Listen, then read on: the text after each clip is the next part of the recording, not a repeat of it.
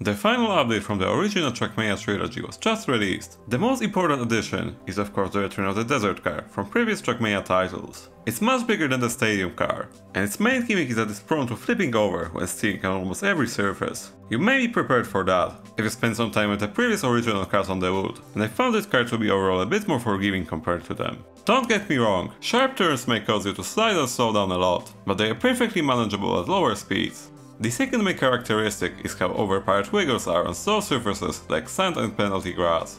On ice, the car turns much slower, but you have some control over it, and if I'm not mistaken, you can do a little ice slide just like with the rally car.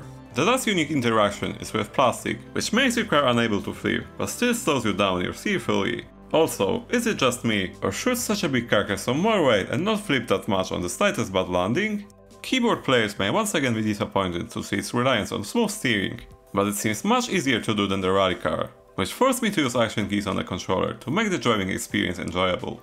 The new car is of course accompanied by a new campaign, which in my opinion, based on playing half of the maps, holds up as a good introduction to the key interactions of the vehicle. Though, I find it a bit funny that one of the tracks was mistakenly added twice, which should hopefully be fixed soon.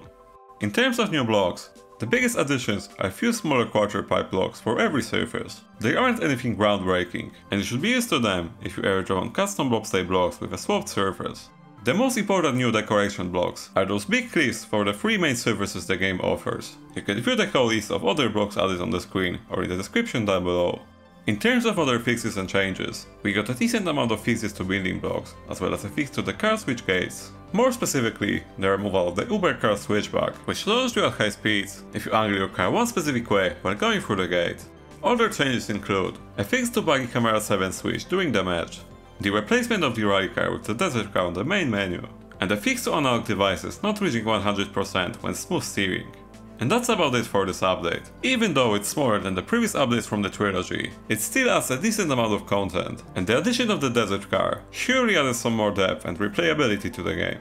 What are your thoughts on the update? Feel free to share them in the comments, and thanks for watching.